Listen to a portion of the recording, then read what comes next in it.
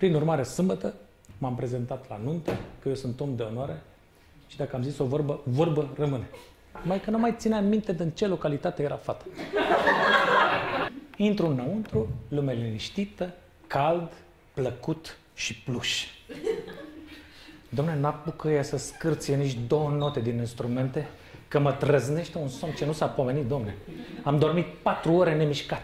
Păi foaie verde sălcioră, păi nicio plantă nu e amară, ca mama da patra oră și pensia alimentară. Părmă la concert ai și avantajul că din cauza muzicii visezi plăcut.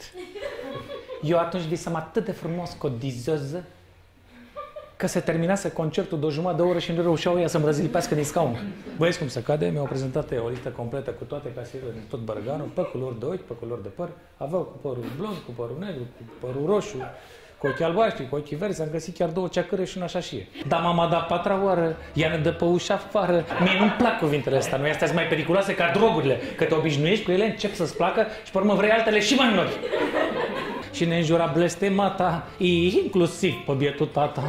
Asta e piesă de teatru. Asta e tragic comedie. Adică și de râs și de plâns. Dar vezi să nu cumva să te prind că râs când e de plâns și invers. Că ne ia ăștia și ne trimite la balcon unde stă începătorii. Pe o fo fo, lenișițo, fa,